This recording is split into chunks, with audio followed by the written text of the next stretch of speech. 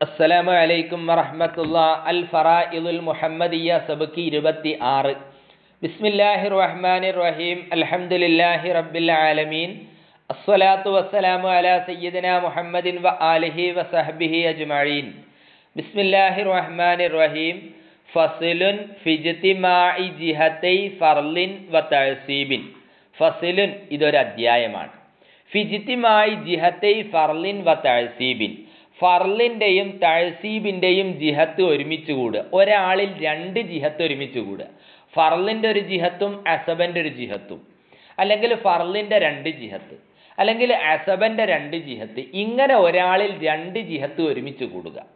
ഇത ഫി ഷഖ്സിൻ ജിഹത്താ ഫർലിൻ. ചിത്തമാ ഒരുമിച്ച് കൂടിയാൽ ഫി ഷഹ്സിൻ ഒരാളിൽ. ജിഹത്താ ഫർലിൻ. ഫർലിന്റെ രണ്ട് ജിഹത്ത് ഒരുമിച്ച് കൂടി.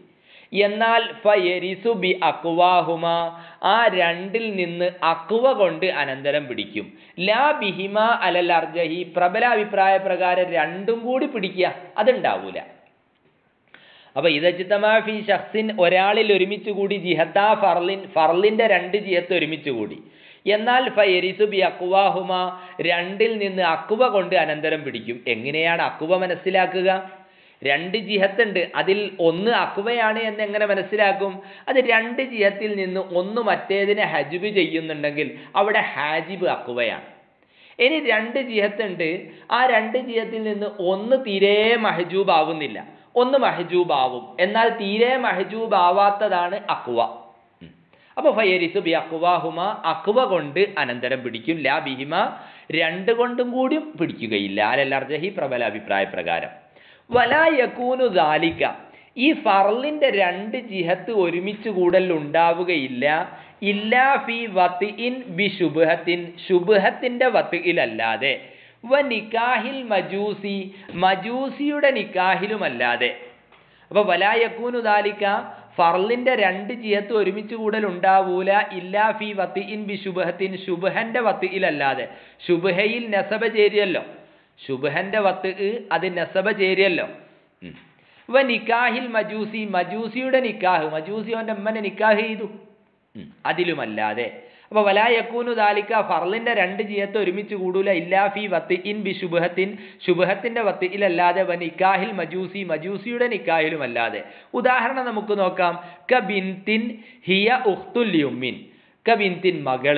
ഹിയ അവൾ ഉഖ്തുല്യുമിൻ ഉമ്മത്ത സഹോദരിയാണ്. മകളുമാണ് ഉമ്മത്ത സഹോദരിയാണ് അതെങ്ങനെയാ? ബി അയ്യത്ത അ മജൂസിയുൻ. ഒരു മജൂസി വത്ത് ചെയ്തു. ഉമ്മഹു അവന്റെ ഉമ്മയെ. ഫലിത അങ്ങനെ അവൾ പ്രസവിച്ചു. മിൻഹു അവനിൽ നിന്ന് ബിൻതൻ ഒരു മകളെ. സുമ്മയമൂത്തു പിന്നെ അവൻ മരണപ്പെടുകയും ചെയ്തു. അൻഹ ആ മകളെ തൊട്ട്. ആ മകളെ തൊട്ട് അവൻ മരണപ്പെടുകയും ചെയ്തു. ഇനി അങ്ങനല്ല വേറെ രൂപം കൂടി. ബി അയ്യത്ത അ മുസ്ലിമുൻ. ഒരു മുസ്ലിമായ മനുഷ്യൻ വത്തി ചെയ്തു. ബി ശുഭത്തിൻ ശുഭത്തിന്റെ വത്തി ചെയ്തു. ആരെ? ഉമ്മഹു അവന്റെ ഉമ്മയെ വത്തി ചെയ്തു. അങ്ങനെ ഫലിത മിൻഹു അവനിൽ നിന്ന് അവൾ പ്രസവിച്ചു. ബിന്തൻ ഒരു മകളെ പ്രസവിച്ചു. ഒരു മകളെ പ്രസവിച്ചു. ആ പ്രസവിച്ചതായ മകൾ ഇവനെ സംബന്ധിച്ചിടത്തോളം മകളുമാണ് ഉമ്മൊത്തതായ സഹോദരിയുമാണ്. സുമ്മയമൂത്തു പിന്നെ അവൻ മരണപ്പെട്ടു. അൻഹ അവളെ തൊട്ട്. അവളെ തൊട്ട് അവൻ മരണപ്പെടുകയും ചെയ്തു. ഇവിടെ അക്കുവ ഏതാണ്? ഇവിടെ മകൾ എന്ന ജിഹത്താണ് അക്കുവ ഇവിടെ മകൾ എന്ന ജിഹത്ത് മകളുമാണ് ഉമ്മത്ത സഹോദരിയുമാണ്. എന്നാൽ മകൾ എന്ന ജിഹത്താണ് ഇവിടെ അക്കുവ ഇവിടെ അക്കുവ മകൾ എന്നതാണ്. അപ്പൊ അക്കുവ കൊണ്ട് എന്താക്കും? അനന്തരം പിടിക്കുന്നല്ലേ പറഞ്ഞേ? ഇതച്ചിത്തമാഫി ഷഹ്സിൻ ജിഹത്താ ഫർലിൻ. ഒരു ഷഹ്സിൽ ഇവിടെ ഫർലിന്റെ രണ്ട് ജിഹത്ത് ഒരുമിച്ച് കൂടി. മകളുമാണ് ഉമ്മത്ത സഹോദരിയുമാണ്. അപ്പൊ അതിൽ നിന്ന് അക്കുവേദ ഫരിസുബി അക്കുവാഹുമ അക്കുവ കൊണ്ട് അനന്തരം പിടിക്കും. അക്കുവ ഏതാണ്? മകൾ എന്നതാണ്. അതുകൊണ്ട് അനന്തരം പിടിക്കും. ഇനി ഔ തഴസീബിൻ അല്ലെങ്കിൽ തഴസീബിന്റെ രണ്ട് ജിഹത്ത് ഒരുമിച്ച് കൂടി. തഴസീബിന്റെ രണ്ട് ജിഹത്ത് ഒരുമിച്ച് കൂടി. ഏതുപോലെ? കബിനിൻ മകന് ഹുവബിനു ഹുവബിനു ബിനിൽ അമ്മി. അവൻ അമ്മിന്റെ മകന്റെ മകനാണ്. ഒരു സ്ത്രീ മരണപ്പെട്ടു. ആ സ്ത്രീയെ സംബന്ധിച്ചിടത്തോളം ഒരു കുട്ടിയുണ്ട്. ആ കുട്ടി ആരാണ്? മകനുമാണ്. അമ്മിന്റെ മകന്റെ മകനുമാണ്. അതെങ്ങനെ? ഇവളെ കല്യാണം കഴിച്ച ഇവളെ അമ്മിന്റെ മോനാ. വാപ്പന്റെ അനിയന്റെ മോന. അല്ലെ വാപ്പന്റെ ജ്യേഷ്ഠന്റെ മോനാണ് ആരെ കല്യാണം കഴിച്ചത്? ഈ പെണ്ണിനെ കല്യാണം കഴിച്ചത്. അപ്പോ വാപ്പന്റെ ജ്യേഷ്ഠന്റെ മകനാവുമ്പോ അമ്മിന്റെ മോനാണ്. അമ്മിന്റെ മോന്റെ മോനുമാണ് ഇവളുടെ മകനുമാണ്. രണ്ട് വകുപ്പാണ് അവിടെ. ഔ തഴസീബിൻ. അല്ലെങ്കിൽ തഴസീബിന്റെ രണ്ട് ജിഹത്ത് എന്താക്കി ഒരാളിൽ ഒരുമിച്ച് കൂടി. ഏതുപോലെ? കബിനിൻ മകനാണ്. ഹുവ ആ മകൻ തന്നെ ഇബിനു ഇബിനിൽ അമ്മി. അമ്മിന്റെ മകന്റെ മകനുമാണ്.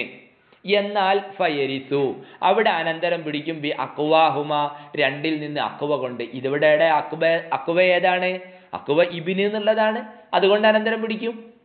അപ്പൊ മുഴുവൻ സ്വത്ത് ഓന് കിട്ടും. അപ്പൊ ഇവിടെ ഒരു സ്ത്രീ മരണപ്പെട്ടു. ആ സ്ത്രീക്ക് ഒരു മകനാണുള്ളത്. ഇത് മകനുമാണ്. അതേ പ്രകാരം തന്നെ അമ്മിന്റെ മകന്റെ മകനുമാണ്. അമ്മിന്റെ മകനായിരുന്നു ഇവളെ വിവാഹം കഴിച്ചത്. അപ്പൊ അമ്മിന്റെ മകന്റെ മകനുമാണ് മകനുമാണ്.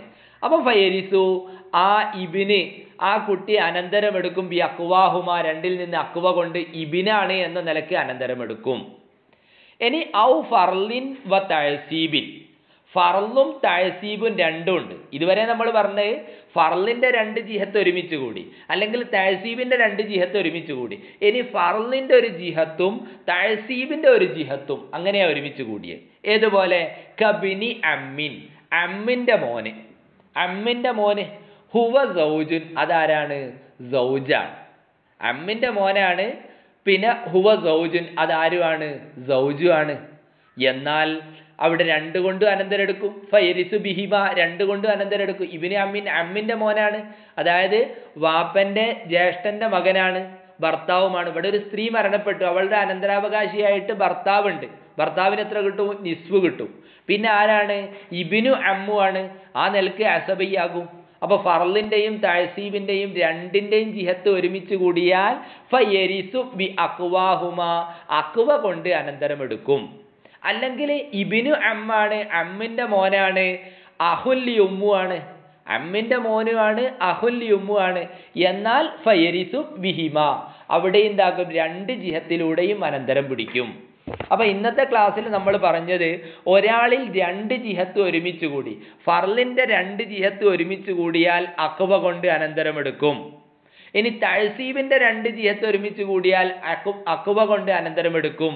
ഇനി തഴ്സീബിന്റെ ഒരു ജിഹത്തും ഫർലിന്റെ ഒരു ജിഹത്തുമാണെങ്കിൽ ഫയരിസു ബിഹിമ രണ്ട് ജിഹത്തിലൂടെയും അനന്തരം പിടിക്കും. ഇൻഷാല്ല ഇനി നമുക്ക് ഹജ്ബാണ് പറയാനുള്ളത്. അത് നമുക്ക് പിന്നീട് പറയാം. അള്ളാഹു സുബാനഹുവത്താല നമുക്കൊക്കെ നാഫിയായ ഇൽമു പ്രദാനം ചെയ്യട്ടെ. വ ആഹിറു ദഴ്വാന അനിൽഹമുല്ലാഹി ഹംദുലില്ലാഹി റബ്ബിൽ ആലമീൻ. അസ്സലാമു അലൈക്കും.